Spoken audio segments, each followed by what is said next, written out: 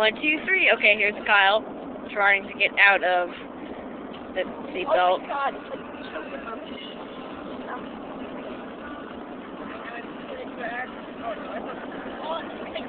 Fifteen more seconds, Kyle. Oh, I'm not gonna keep, oh my god, yeah, I'm gonna fuck her now. See, I did it. See, I knew it was coming. Bell.